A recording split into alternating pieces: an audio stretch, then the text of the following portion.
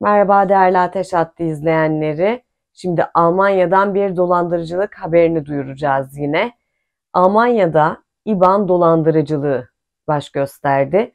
Banka hesaplarını bakın hangi yöntemle boşaltıyorlar. Geçelim hemen haberin detaylarına.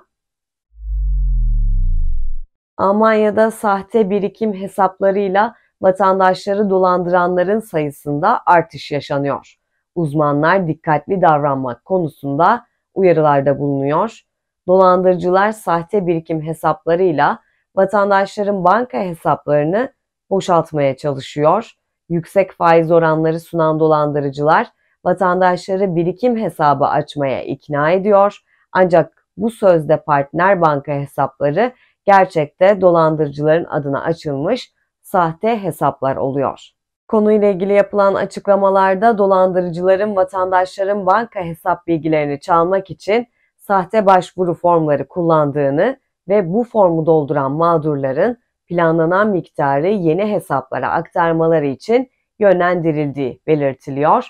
Yönlendirilen bu hesaplar dolandırıcıların kontrolündeki hesaplar oluyor ve mağdurlar birikim hesabı açtığını zannederken aslında para doğrudan yurt dışına açılmış dolandırıcıların hesaplarına aktarılıyor. Uzmanlar da sık sık uyarılarda bulunuyor.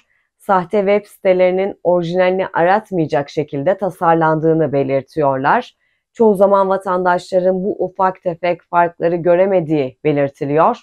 Yüksek faizli kampanyaların vatandaşlarda şüphe uyandırması gerektiğinin altını çizen uzmanlar müthiş faiz, %100 güvenli gibi ifadelerin yer aldığı reklamlarında çoğu zaman sadece sahte web sitelerinde yer aldığını vurguluyor. Bu dolandırıcılık türüne karşı en önemli koruma yolu hesap bilgilerini kimseyle paylaşmamak. Ayrıca yüksek faizli birikim hesaplarına başvururken dikkatli olmak ve şüpheli görünen başvuru formlarını kesinlikle kabul etmemek gerekiyor.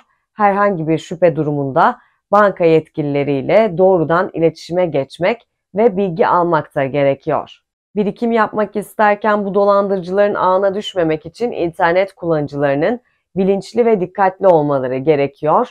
Ayrıca ailenizi ve arkadaşlarınızı da bu tür dolandırıcılıklar konusunda uyarmak, mağduriyetleri önlemek için oldukça önemli.